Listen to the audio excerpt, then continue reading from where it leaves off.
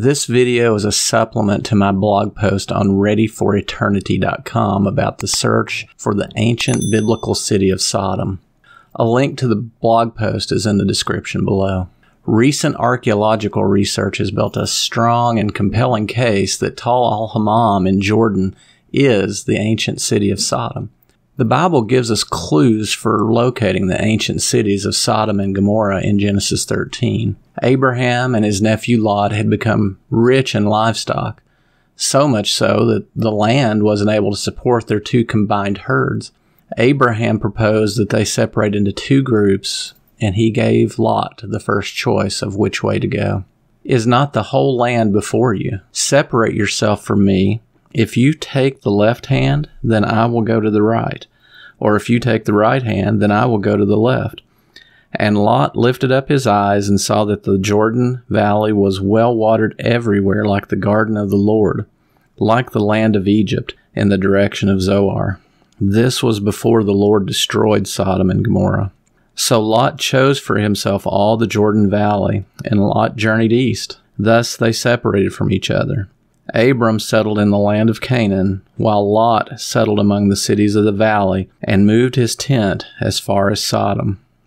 The Bible is clear that the Jordan Valley and Sodom were east of Abraham and Lot when Lot made his choice. So, where were they when Lot gazed out over the Jordan Valley? Now, Abram was very rich in livestock, in silver, and in gold and he journeyed on from the Negev as far as Bethel to the place where his tent had been at the beginning, between Bethel and Ai.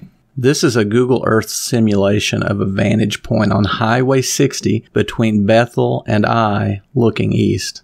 This vantage point is on a ridge that is about 2,800 feet above sea level. In the simulation, the camera will always be pointing toward Tall el-Hammam, which is the probable site of ancient Sodom.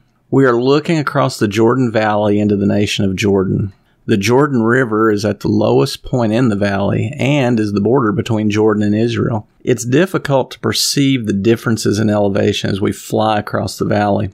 The Jordan River, just north of the Dead Sea, is approximately 1,250 feet below sea level. This makes the bottom of the Jordan Valley 4,000 feet below the ridge where Abraham and Lot may have been looking out over the valley. As this simulation shows, Tall el-Hammam is situated in the region where the Bible describes Sodom as being located.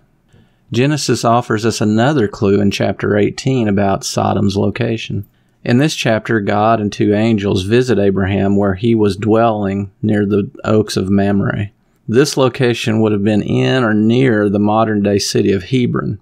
After this encounter, the Bible says that Abraham and his visitors looked down toward Sodom.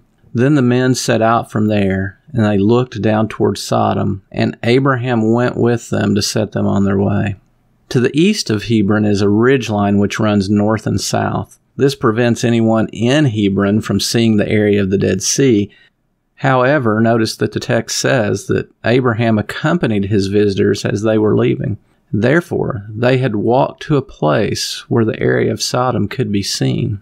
We don't know where Abraham and his visitors were when they looked down toward Sodom, but it is interesting to note that the plain of the Jordan is visible from the hills just east of Hebron.